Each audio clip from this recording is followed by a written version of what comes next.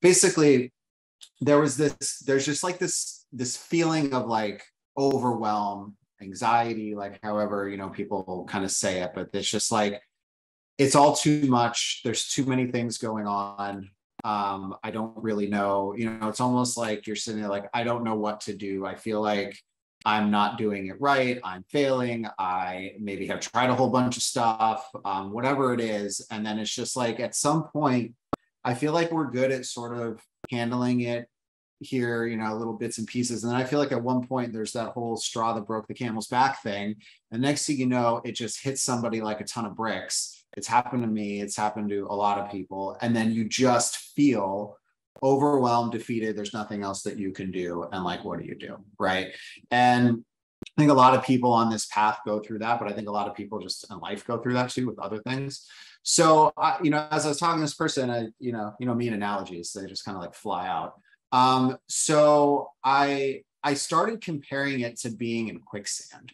And as I was going through it, I'm like, oh, this this is kind of hitting for me. I feel like, and then it seemed to hit for the person at the end of the call too. So, uh, anyways, that's that's what I want to do. So, if you think of if you think of being overwhelmed and this feeling that like stuff is all around you and it keeps pulling you in a direction you don't want to go, and the more you fight it, the like harder it is to figure out like all of these feelings that really does feel not that I don't know if any of us actually been in quicksand, but I've definitely watched Indiana Jones and these other movies and you see what happens. And it's like you get in there and the more you fight and the more you struggle and the more that you're not focused on how to actually get out of it, the faster and the quicker and the stronger it pulls you down, right? That's always like the lesson I learned as a kid if you're in quicksand, you stop like I would ever be in quicksand, ever, right? But I learned this lesson as a kid watching these shows.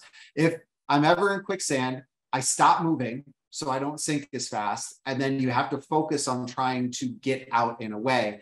Sometimes you could do it yourself. Sometimes there's something you could reach for. You could grab onto like a branch or something or a vine that's dangling over your quicksand in the movie scene, and you can pull yourself out and you can do that.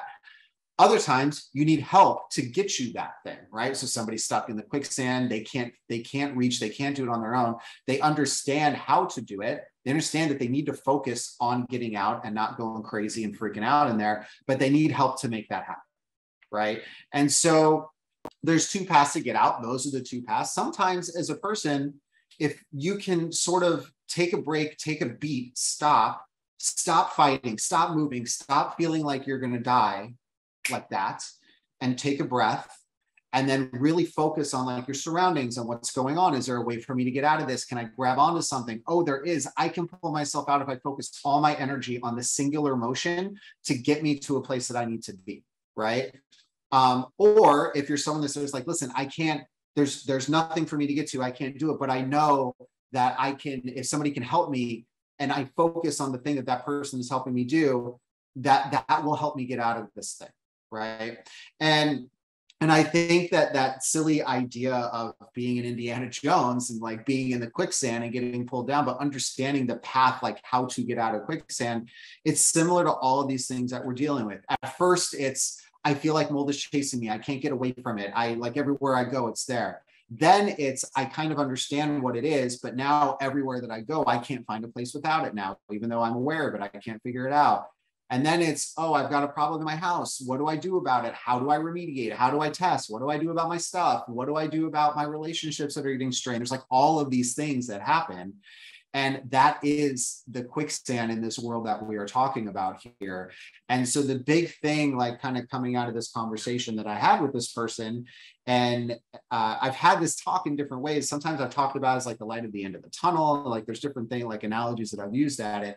But it's it's what is the singular thing that's going to stop you from sinking and start pulling you out? That's the first thing that we need to focus on. Okay. You may not get out right away, but the first thing to do is stop going, stop sinking down. And the way you stop sinking down is to stop freaking out and creating more movement, which will pull you down. So to instead of the, the reason the overwhelm happens is because we are thinking about all of these possibilities that may or may not happen. And we're thinking about all these things that have happened in the past. And when you put those two things together, it creates like this cyclone and this tornado of like emotions and thought and stress and anxiety. The thing about the past is we can't change it Okay, so if we're looking at like an overwhelmed pie and you've got stuff that's happened in the past, stuff that might happen in the future, and stuff that's happening right now, what we need to focus on is what is happening right now in step one. Worrying about everything in the past doesn't help us at this point, right? We can't do anything about it. We've learned from that. We are where we are now. Worrying about what could happen in the future is also not helpful because a lot of times what happens is is what we've been preparing ourselves to happen in the future never actually happens. And so we end up having like creating this internal stress and like ramp up and like I mean, I've done this when I've had to have phone calls with like, uh, like way back when, when you had like DirecTV or the cable company, and you're like, oh man, you guys charge me where you're supposed to. And then you get on the phone with them and you're on hold for like 20 minutes. And the whole 20 minutes, I'm like all ramped up about what this phone call is going to be like. And I'm preparing everything that they could say and what my response is going to be back to it and all that. And then I get on the call because DirecTV always had very good customer service. I get on the call and I'm ready to just rip into them. And DirecTV is like, yeah, no problem. We'll take care of that and that's it. I'm like, oh, this big fight that I thought that I was going to have actually did not happen, which means the 20 minutes of stress and struggling and sinking in the quicksand and all of that was literally for nothing, right? So it's trying to dis is trying to separate ourselves from the past. You learn from the past, but you can't dwell on it because that's going to continue to push you down is trying to be somewhat aware of like what's coming in the future, but not so focused on exactly what's happening in the future. Because if we are, we're going to ramp ourselves up. And like I said, 90% of the time, all of the prep that you're doing for the future never actually happens. So you get stressed out for stuff for no reason, right? And really, it's focusing on the now and the immediate first thing you do to get to the next thing